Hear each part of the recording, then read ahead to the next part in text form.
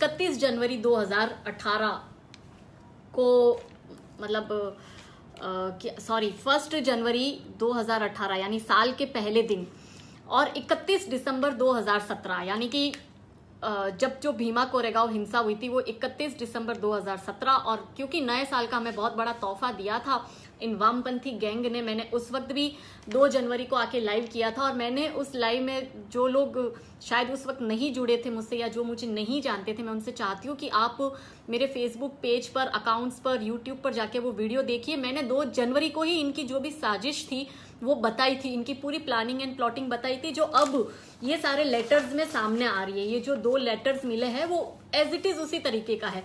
लेकिन तब मुझे चैलेंज किया गया था कि मैं एंटी दलित हूँ या मैं दलितों की भावनाओं को ठेस पहुँचा रही हूँ। देखिए, मैं तब भी भी क्लियर करती हूँ, मैं अभी भी क्लियर करती हूँ कि मेरे लिए हिंदुओं को एक रखना और जोड़े रखना बहुत इंपॉर्टेंट है। मैं किसी जात पात में नहीं मानती हूँ, ना ही मैं बिलीव करती हूँ किसी भी जात और बात पर। मेरे लिए, मेरा हिंदू धर्म सबसे बड़ा है। ठीक है? अगर कहीं गलत होगा तो मैं रोकूँगी और मैं बोलूँगी। इसका मतलब ये नहीं है कि मैं उस जाति के या उस समाज के खिलाफ हूँ। मैं वो असामाजिक तत्वों के खिलाफ हूँ जो पर्टिकुलर जाति के ठेकेदार बने बैठे हैं और जातियों को गुमराह करने की कोशिश करते हैं, बच्चों को, बच्चों का ब्रेन वॉश करते हैं और अपने प्रोपोगेंडा में बच्चों को शामिल कर कर उपद्रव मचाते हैं। देश की शांति और अखंडता को और हिंदुओं की अखंडता अखंडता को चैलेंज करते हैं। तो भीमा कोरेगांव हिंसा हुई थी 31 दिसंबर 2017 और 1 जनवरी 2018 ये दो दिन लगातार महाराष्ट्र में और हिंदुस्तान के कुछ एरिया में, लेकिन ज़्यादा नुकसान महाराष्ट्र में हुआ था। हम सब जानते हैं। भीमा कोरेगांव प्लेटफॉर्म जिन्होंने शेयर शेयर किया था उस वक्त मैंने वो सारा आपके सामने एक्सपोज किया था। अब कल क्योंकि पुलिस कमिश्नर ने खुद प्रेस कॉन्फ्रेंस कर कर ये बात कही है और ये जो भी प्रपत्र उनके हाथ में लगे हैं मैं आपको बता दूँ कि भीमा कोरेगांव हिंसा में पाँच मुख्य आरोपी है जिन्हें पुलिस ने गिरफ़्तार किया और उनकी पूरी तफ्तीश चली। उन, अ, उनके घर पे भी छापेमारी हुई है। वो पाँच लोग है रोना विल्सन जिस जो मुख्य किरदार में है। सुधीर धवले सुरेंद्र गाडगिल सोमा सिंह एंड महेश रौत और इन्हीं लोगों के ग्रुप को ज्वाइन किया था प्रकाश आंबेडकर ने। और प्रकाश आंबेडकर ही जिग्नेश मेवानी और उमर खालिद जो है ये प्रकाश आंबेडकर के ही पपेट है जो डायरेक्टली और इनडायरेक्टली इस ग्रुप के साथ जुड़े जो रोना विल्सन वाला ग्रुप है। तो मैं आपको बता दूँ कि रोना विल्सन के घर जब छापेमारी पड़ी तो उसका जो लैपटॉप है उस लैपटॉप में से नी, निजी जो उनके एक्सचेंज हुए थे ईमेल्स जो इनके वामपंथी ग्रुप है या कह दो कि माओइस्ट ग्रुप है या ये कह दो कि चलो कह ही देती हूँ ये माओइस्ट आतंकवादियों के जो ग्रुप है ये सारे के सारे टेररिस्ट है और ये टेरर फैलाने का ही काम करते हैं। जाँच के दौरान उसके लैपटॉप से काफ़ी एक्सचेंज हुए जो मेल्स इंटरनल वो मिले हैं लेकिन दो तीन प्रपत्र ऐसे हैं जो बहुत ज़्यादा कहते हैं कि हमारे देश अ, की सिक्योरिटी को चैलेंज कर रहे हैं। इनकी पूरी प्लानिंग और प्लॉटिंग सामने आई। इनफैक्ट पीएम के एसेसिनेशन का भी पूरा उसमें प्लानिंग और प्लॉटिंग किया गया है। अब ये जो प्रपत्र है, आप इसको, आपको ये कहेंगे कि ये तो झूठ है तो भैया देखो, किसी के लैपटॉप में से मिला है। वो इंसान के लैपटॉप में जो जो ये माओइस्ट एक्टिविस्ट है और जो गिरफ़्तार हुआ है भीमा कोरेगांव हिंसा में। और उनके आपस में जो जो हुए थे कॉन्वर्जेशन उसके प्रपत्र और वो सारे लेटर्स वो सारे ईमेल्स सारे जो मिले हैं, ये दोनों प्रपत्र में। तो ये कोई फेक नहीं है कोई बना नहीं सकता, ये हम नहीं बोल रहे, ये पुलिस कमिश्नर ने सौंपे हैं और उसके ही लैपटॉप से मिले हैं, ठीक है? तो जो भी ये कह रहे हो कि सब झूठ है झूठ है तो मैं ये कह दूँ कि आप इतने अंधे हो चुके हैं कांग्रेस प्रेम में और मोदी से नफरत करने में कि आपको हर चीज़ झूठ लगती है। एनीवेज आपकी बुद्ध, आपको भगवान सद्बुद्धि दे, हम यही प्रार्थना करेंगे। उस चिट्ठी में, उस उस मेल में, उस लैपटॉप में दो चिट्ठी ऐसी मिली, एक पीएम मोदी के असेसिनेशन की और दूसरी मिली कि कौन इन्हें मनी मशीन पावर का सारा बैकअप सपोर्ट कर रहा है, वो कौन सी पॉलिटिकल पार्टी है और इनके क्या एजेंडा रहे और इन्होंने अब तक क्या क्या किया है और ये कहाँ कहाँ सफल हुए, वो सारे प्रपत्र मिले हैं। सबसे पहले मैं आपको बता दूँ कि जेएनयू आज़ादी मूवमेंट जो है, इस मूवमेंट में एक और बंदा है रोना विल्सन ये मूवमेंट हैंडल कर रहा था। और उसके साथ एक और बंदा है जिसका नाम है प्रोफेसर साई बाबा। ये जो प्रोफेसर साई बाबा है, ये साई बाबा जी एन साई बाबा, ये अभी जेल में है और चक्कियाँ पीस रहे क्योंकि ये माओइस्ट आतंकवादी गतिविधियों में खुलेआम पकड़े गए हैं। तो फ़िलहाल ये जेल में है और इनका साथ दिया रोना विल्सन ने। ये दोनों जो जेनी और डीयू में जो आज़ादी के जो पूरे इनकी जो गतिविधियाँ है, माओइस्ट आतंकवादी गतिविधियाँ, इसमें ये लोग साथ में ऑपरेट करते हैं। अब मैं गुलामों को जो जो बताने जा रही हूँ, मैं उनको कहती हूँ, भैया, देखो, मेरा काम है सच्चाई बताना। आपके दिमाग पर जो और दिल पर जो ये इटालियन अम्मी का जो भूत सवार है, उसको उतारना और कांग्रेस पार्टी के लिए जो आपकी अंध गुलामी है, उसको निकालना, ठीक है? हम तो सब ये पहले से ही जानते हैं। लेकिन आप जो अपनी खुद की कब्र खोद रहे हो ना, किसी पार्टी को पसंद करना एक अच्छी बात होती है। लेकिन उस पार्टी के पीछे इतना पागल हो जाना कि आप अपने ही देश में बैठे उन गद्दारों को सपोर्ट करने लगो, उस पार्टी को सपोर्ट करने लगो जो देश में हिंसा फैला रही है, षड्यंत्र रच रही है, उपद्रव मचा रही है, पीएम को मारने की प्लॉटिंग कर रही है।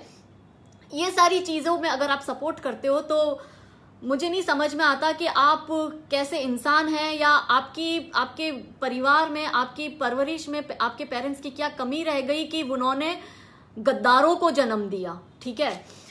तो मैं आपको पहले फ़र्स्ट लेटर बता देती हूँ। ये जो है, ये फ़र्स्ट लेटर जानना ज़्यादा इंपॉर्टेंट है। ये जो लेटर है, वो एक्चुअली लेटर ऐसा है, जो कि, है ना थोड़ा सा आप लोगों के लिए विजिबल नहीं होता। काफ थोड़ी थोड़ी चीज़ें इसमें ब्लर है। तो मैंने इस लेटर को बकायदा टाइप किया है। ये दोनों लेटर में ये जब खत्म होगा मेरा लाइव उसके बाद मैं पोस्ट करूँगी और इससे जुड़ी हुई जो भी मैं चीज़ें आपको बता रही हूँ सारी चीज़ें मैं पोस्ट करूँगी। तो ये वो लेटर है, ठीक है? ये लेटर लिखा गया है दो जनवरी 2018 यानी कि 31 जनवरी 31 दिसंबर 2017 को भीमा कोरेगांव होता है एक जनवरी 2018 को भीमा कोरेगांव होता है और दो जनवरी को ये लेटर लिखा जाता है रोना विल्सन को। लिखते हैं dear comrade Rona, red salute, लाल सलाम। इसमें ये पहली जो इंपॉर्टेंट चीज़ है, वही मैं आपको नोटिस जो मैंने हाईलाइट किया ग्रीन कलर से, मैं वही चीज़ आपको बताऊँगी। बाकी की चीज़ आप पढ़ लीजिएगा, जब मैं लगा दूँगी उसको अपने टाइमलाइन पे। ये कह रहे हैं, ये रोना मैं आपको बता दूँ कि इन्होंने पहला शब्द, ये जो पूरा कॉन्वर्जेशन हुआ, उसमें इसने कहा पॉलिटिकल प्रिजनर ऑर्गेनाइजेशन तो इसका पूरा नाम है सीआरपीपी ये जो है, ये पॉलिटिकल प्रिजनर ऑर्गेनाइजेशन है। मैं आपको बता दूँ कि जब 2014 में फरवरी में कांग्रेस की सरकार थी, उस वक्त लोकसभा में ये एक सूची जारी की गई थी। टोटल 74 ऐसी ऑर्गेनाइजेशन थी जिसे बैंड किया गया था।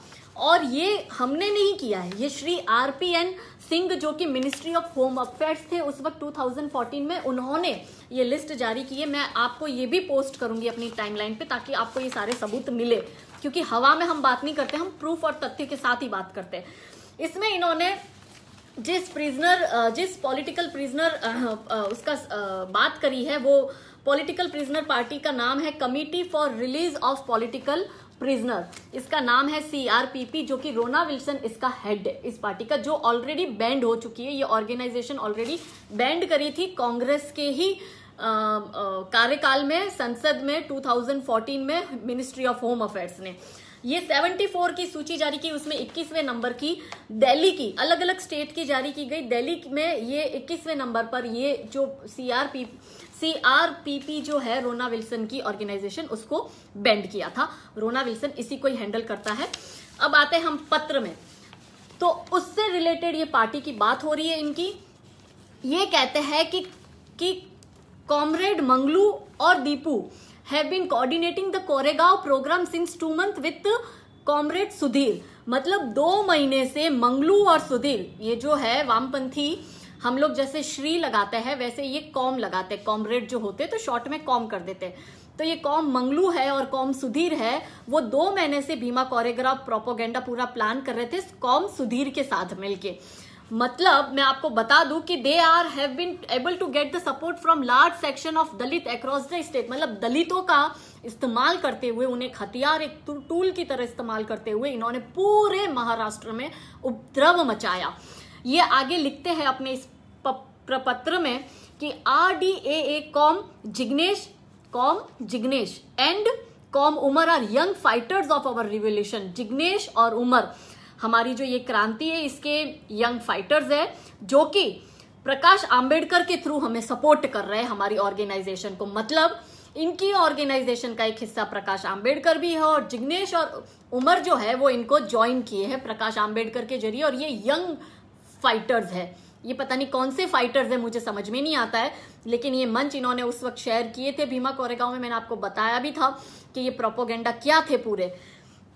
इसके अलावा जिग्नेश और उमर इन लोगों की प्लानिंग में पूरे पूरे शामिल थे। वो ये लेटर चीख चीख कर कह रहा है। हमने तो तभी भी कहा था, अब ये साबित भी हो रहा है। ये लिखते हैं आगे कि last year in July and August the higher committee has provided two rounds of funds to com Sudhir for this task com Soma and com Surendra are authorise to provide funds for future programs ये कहते हैं कि जुलाई और अगस्त 2017 और 2017 दिसंबर में भीमा कोरेगांव होता है। और ये कहते हैं कि इन लोगों को फंड मिला था भीमा कोरेगांव प्लॉट करने के लिए।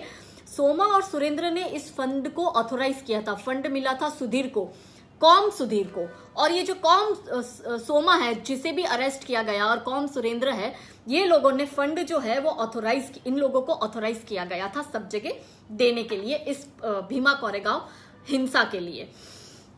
आगे ये लोग लिखते हैं कि Bhima Koregaon agitation has been very effective ये इतने, क्या बोलते हैं, गद्दार एक नंबर के, इतनी बड़ी हिंसा करी, इतना बड़ा उपद्रव मचाया, दलितों का इस्तेमाल किया, और फिर ये लिखते हैं कि ये सारा आप लोगों का सपोर्ट मिला और पैसा मिला फंड मिला, हमने अच्छी प्लानिंग प्लॉटिंग करी दो चार महीने से तो ये भीमा कोरेगांव बहुत इफ़ेक्टिव रहा।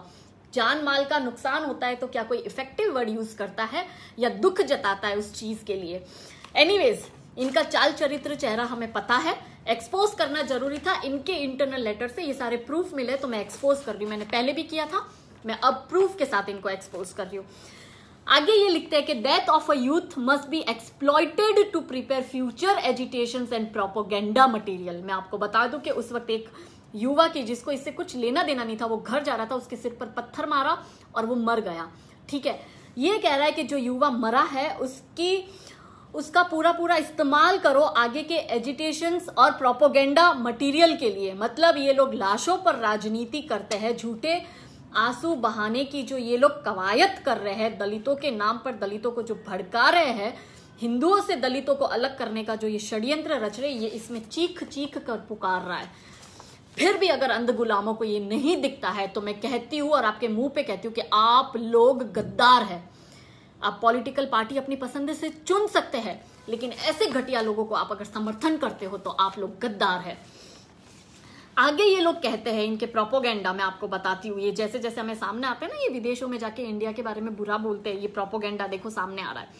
ये कहते हैं highlight the incident try to engage with our friends in London and elsewhere Radha D'Souza Azad markers and other organisers similar इस तरह का प्रोग्राम मतलब लंदन स्वीडन में इनके जो वामपंथी मित्र है, वो इस तरह के वहाँ पे प्रोग्राम्स क्रिएट करेंगे जिसे वो इंडिया को बदनाम, जिसमें वो इंडिया को बदनाम करेंगे और ऐसे प्रोपोगेंडा एंटी इंडिया प्रोपोगेंडा ये लोग चलाएँगे. जैसे कि मैं आपको बता दूँ कि हाल ही में बीबीसी पर अरुंधति रॉय ने जो प्रोपोगेंडा करा और कहा कि इंडिया में टेरिबल टेरिबल वॉयलेंस हो रहा है.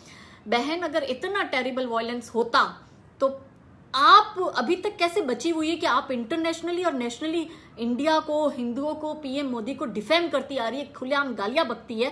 हिंदू टेरर भगवा, आतंकवाद, भगवा टेरर का आप नाम लेती है तो आप वहाँ तक पहुंचकर, उस मंच पर पहुंचकर अभी तक बोल कैसे रही है? अगर आपको लगता है कि इतनी वायलेंस हो रही है, ज़रूरत है अगर आप ये सीरिया में या चाइना में बोल दे? आपको पता भी नहीं चलता आप कहाँ खो जाते। तो आप ये जो इंडिया को डिफेम करने की कोशिश कर रहे हो इंटरनेशनली और उसमें जाके ये बोलती है कि मुस्लिमों पर और माइनॉरिटीज पर तो अत्याचार हो रहा है, सड़कों पर लिंच हो रहा है लिंच पे लिंच हो रहा है। ये बहन ऐसा जाके वहाँ पे बोल रही है और meat shop leather business handicraft business सारे बंद करवा दिए कौन सी मीट शॉप और हैंडीक्राफ्ट और लेदर बिज़नेस बंद हो गए इंडिया में? अगर इलीगल कोई धंधा कर रहा है और इलीगल धंधे बंद हो रहे हैं और इनकी प्रिय दिल्ली में बैठी वो टुंडे कबाब की शॉप अगर बंद हो रही है और इनको अगर लगता है कि ये सब आ, मतलब क्या हो रहा है कि मुस्लिमों पर अत्याचार करने के लिए बिज़नेस बंद कर रहे हैं तो भैया एक भी लीगल बिज़नेस बंद नहीं हुआ है। और अगर इलीगल बिज़नेस बंद होते हो और आप उसको सपोर्ट करते हो तो आप गैर कानूनी काम को सपोर्ट करते हो इसका मतलब आप जिस कॉन्स्टिट्यूशन को हाथ में लेके घूमते हो उसी कॉन्स्टिट्यूशन की आप धज्जिया उड़ाते हो उसी लॉ एंड ऑर्डर की आप धज्जिया उड़ाते हो और फिर आप इंटरनेशनली जाके ये कहते हो कि मुसलमानों से उनके बिज़नेस छीने गए हैं हैंडीक्राफ्ट में मीट शॉप में या लेदर में उनके बिज़नेस वो कर दिए हैं बंद। तो भैया इलीगल काम तो चलना ही नहीं और ना ही चलेगा। फिर जा, जहाँ जाके चिल्लाना है वहाँ जाके चिल्लाओ। आगे मैं आपको बताती हूँ। ये कहते हैं senior comrades from the CPI Maoist urban leadership have had prior talks with our friends in Congress इनका इनके जो फ्रेंड है, मैं आपको बता दूँ कांग्रेस हिंदुस्तान को तोड़ने वालों का साथ दे रही है इस प्रोपोगेंडा में। कांग्रेस जो है, वो वो क्या है? वो इन माओइस्ट लोगों के प्रोपोगेंडा को पूरा करने के लिए इनको मनी और मशीन पावर देती है। इनका जो दलाल है मीडिएटर इनके दलाल है, जिग्नेश मेवानी उमर खालिद, कन्हैया, हार्दिक पटेल, ये सब इनके दलाल है। एनीवेज हार्दिक पटेल इनकी कम्युनिस्ट एक्टिविटी में शायद डायरेक्टली नहीं है, लेकिन इनडायरेक्टली तो है, क्योंकि हम जानते कि वो इन्हें सपोर्ट कर रहा है हर तरीके से। और क्योंकि गुजरात में भी जब पाटीदार एजुटेशन हुआ था तो हार्दिक को पूरा फंडिंग कांग्रेस से हुआ था, ये सब जानते हैं। डायरेक्टली और इनडायरेक्टली वो हमेशा कांग्रेस को सपोर्ट करते वो भी हमें सब पता है। जिग्नेश मेवानी का भी जैसे चुनाव लड़ना, पी, पीएफआई से उसे फंड मिलना, अरुंधति रॉय का उसको फंड देना, फिर ये भीमा कोरेगांव का होना, वो मंच उसका शेयर करना, प्रकाश आंबेडकर के साथ उसके ये, और अब लेटर में भी जब उसके नाम का मतलब खुल रहे हैं ये सारे नाम तो पता चलता है कि जिग्नेश मेवानी जो इनका मध्य जो क्या कहते हैं जिसको दलाल, इन, इस दलाल के थ्रू ये लोग ये सारी फाइनेंशियल हेल्प उस माओइस्ट लोगों को और वामपंथी लोगों को कांग्रेस बैकअप सपोर्ट करती है और इनको पहुंचाती है, जो कि इन्होंने साफ़ साफ़ अपने इस प्रपत्र में, अपने इस ईमेल में लिखा है कि हु सजेस्टेड आगे ये कहते हैं हु सजेस्टेड कांग्रेस सजेस्ट कर रही है to continue Dalit mobilisation more aggressively whatever legal and financial aid is required they are ready to provide to through the intermediate Jignesh जो भी लीगल और फाइनेंशियल मदद की ज़रूरत पड़ेगी, वो इनका जो दलाल है जिग्नेश, उसके थ्रू ये इन लोगों को प्रोवाइड करेंगे। पर थ्रू आउट पूरे देश में दलित का जो इन लोगों ने षड्यंत्र रचा है, वो बड़े स्केल पर आप लोग फैलाओ और उसके लिए आपको जो भी सपोर्ट चाहिएगा, वो कांग्रेस करेगी। इससे ज़्यादा क्या सबूत चाहिए आपको कि कांग्रेस, ये जितनी गलत गतिविधियाँ होती है ना देश में, इन सब की जो रीढ़ की हड्डी है ना, वो कांग्रेस है। ये इन सब लोगों को सपोर्ट करती है। फाइनेंशियल भी लीगल भी, हर तरह से इनको, ये लोग टेररिस्ट सपोर्ट भी इनफैक्ट कांग्रेस इन लोगों को करती है। आप लोग मुझे कहते हो ना, क्यों कांग्रेस के पीछे पड़ी रहती है? आप दूसरी पार्टी के पीछे पड़ी नहीं रहती। दूसरी पार्टी की इतनी औकात ही नहीं है। दूसरी पार्टियों को सपोर्ट करने वाली ही कांग्रेस पार्टी है। तो इनका जो मेन है ना, ये जो मेन कीड़ा जो है, जिसके थ्रू ये वायरस बढ़ता जा रहा है, उसको खत्म करने की ज़रूरत है। इसलिए मैं कांग्रेस के पीछे पड़ी रहती हूँ, क्योंकि मैं जानती हूँ कि कांग्रेस यही करती आई है। एनीवेज आगे ये कहते हैं कि Dalit sentiments are clearly against Brahmin centred agenda of BJP and RSS Dalit को ब्राह्मण बीजेपी आरएसएस के विरुद्ध यूज़ करेंगे और हिंदुस्तान में अराजकता का लार्ज स्केल पर माहौल क्रिएट करेंगे। ये कहते हैं this should be converted into large scale of mobilisation and chaos C H A O S यानी कि अराजकता का माहौल जितना बढ़ सके, उतना आप बढ़ाओ। दलितों को आप लोग जितना इस्तेमाल कर सके, उतना करो, ये कांग्रेस कह रही है। हम आपको लीगल और फाइनेंशियल सपोर्ट करेंगे, पर आप ये चीज़ करिए। आगे ये कहते हैं, आगे ये कहते हैं it will be undoubtedly help to take down the Modi rath assistance for the release of senior political prisoner including sorry sorry sorry my mistake it will undoubtedly help to take down the Modi juggernaut in 2019 मतलब मोदी जी के रथ को 2019 में रोकने के लिए बहुत ज़रूरी है कि आप नाती जाति की राजनीति करो। ये सारे आप उपद्रव मचाओ। Proof of which is visible through Gujarat election result मतलब इन्हें लगता है कि गुजरात इलेक्शन में जो ये सफल हुए, आठ नौ सीटों से इन लोगों ने लॉस हुई है भाजपा को। मैं मानती हूँ, आठ नौ सीटों की लॉस हुई है। इन्हें लगता है कि गुजरात इलेक्शन में जो पीएफआई और एसडीपीआई से जिग्नेश को जो फंड मिला, अरुंधति रॉय ने जो फंड दिया, उससे जिग्नेश ने जो दलित आंदोलन गुजरात में क्रिएट करा और कांग्रेस ने जो हार्दिक पटेल को फंड दिया और उससे जो इन्होंने पाटीदार आंदोलन पूरा क्रिएट करा तो ये पाटीदार और दलित आंदोलन की वजह से ही भाजपा को कम सीटें आई। और इसका बहुत बड़ा रीजन ये है कि ये लोग इसमें साफ़ साफ़ सफल हुए। तो ये कह रहे हैं कि ये सब करना पड़ेगा, कांग्रेस हमें समर्थन कर रही है और इसका हमें साफ़ साफ़ रिज़ल्ट गुजरात में दिखा कि which is visible through Gujarat election result Congress friends have assured assistance for the release of senior political prisoner including com यानी comrade Kobad and comrade Sai Baba. इसमें कांग्रेस इनको एश्योर कर रही है कि आप हमारे लिए ये सब हमें हेल्प करिए। मोदी रथ 2019 रोकने के लिए आप थ्रू आउट ये दलित वाला मुद्दा, पाटीदार वाला मुद्दा, किसान वाला, ये सब जातिवादी मुद्दे, ये सारे आप बढ़ाओ, भड़काओ, करोड़ों की प्रॉपर्टी को नुकसान पहुंचाओ, अराजकता का माहौल क्रिएट करो, लाशों पर राजनीति करो। हम इसके बदले में आपको पूरा पूरा समर्थन देंगे। जो कॉमरेड कोबाड़ और कॉमरेड साई बाबा साई बाबा और ये लोग जो जन जो है, वो प्रोफेसर है दिल्ली यूनिवर्सिटी के जीएन साई बाबा। ये प्रोफेसर्स को हम लोग छुड़वाएँगे, जो अभी माओइस्ट एक्टिविटी के जुर्म में, जेल में बंद है। मैं आपको बता दूँ कि दिल्ली यूनिवर्सिटी की अभी रिसेंटली दीवारों पर, ये, दिल्ली यूनिवर्सिटी की दीवार है। इस दीवार पर लिखा है free professor G professor G and Sai Baba. G N Sai Baba को आप फ्री करिए। स्टॉप ऑपरेशन ग्रीन हंट आपको ये उल्टा दिख रहा होगा, मैं बाद में ये पोस्ट करूँगी, तब आप देख लीजिएगा। मैं आपको बता दूँ कि साई बाबा जो है, जी एन साई बाबा, वो दिल्ली यूनिवर्सिटी के वामपंथी प्रोफेसर है, जो अभी अरेस्ट किए हुए जेल में है, और दूसरी इन्होंने दीवार पे लिखा है स्टॉप ऑपरेशन ग्रीन हंट मैं आपको बता दूँ ग्रीन हंट वो ऑपरेशन है, जिसे हाँ भारतीय सेना ने माओइस्ट आतंकवादियों को, यानी नक्सलियों को मारने खत्म करने के लिए ग्रीन हंट ऑपरेशन किया था। इसलिए उसमें काफ़ी ये जो कहते हैं, नक्सली आतंकवादी मारे गए। इसलिए दिल्ली यूनिवर्सिटी की दीवारों पर वहाँ के जो स्टूडेंट है, उन्होंने लिखा, स्टॉप ऑपरेशन ग्रीन हंट. ये चलता है। जेएनयू डी में पढ़ाई नहीं होती। है जेएनयू डी में बकायदा यंग आतंकवादी पैदा किए जा रहे हैं, उनके ब्रेन वॉश किए जा रहे हैं, जो माँ बाप मुझे देख रहे हैं और जिनके बच्चे जे एन जेएनयू डी में वहाँ से निकालो अपने बच्चे को और किसी अच्छे यूनिवर्सिटी में एडमिशन करवाओ या फिर उन पे ध्यान रखो।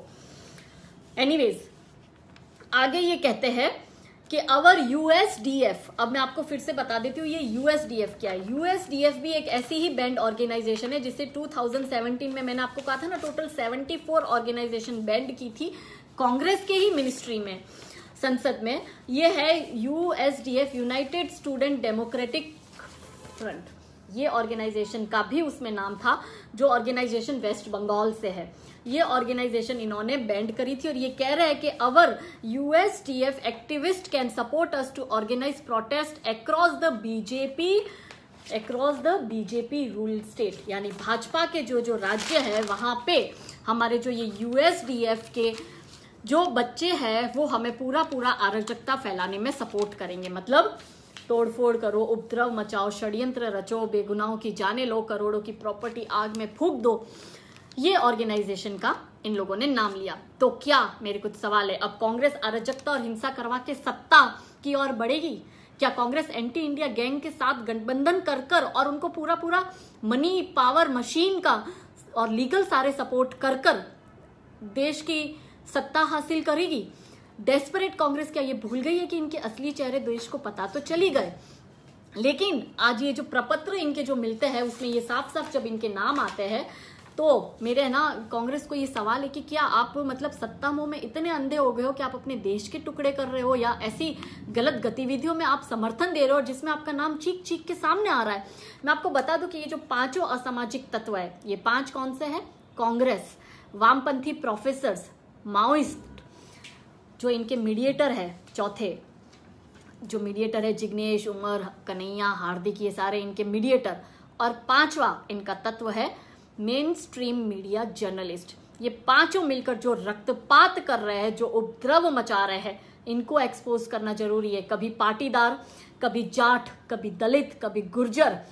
कभी किसान तो कभी मुसलमान और कभी पिछड़ा। इस पर ये लोग राजनीति करते हैं। कभी राजस्थान, कभी महाराष्ट्र, कभी हरियाणा, कभी गुजरात और अब कभी एमपी मंदसौर भी पूरा इनका प्लानिंग था। और अब ये एमपी की तरफ़ आपने देखा ना, राहुल गांधी दो दिन से एमपी में, जिस तरह से वो पूरा क्रिएट कर रहा है अराजकता का माहौल और किसानों को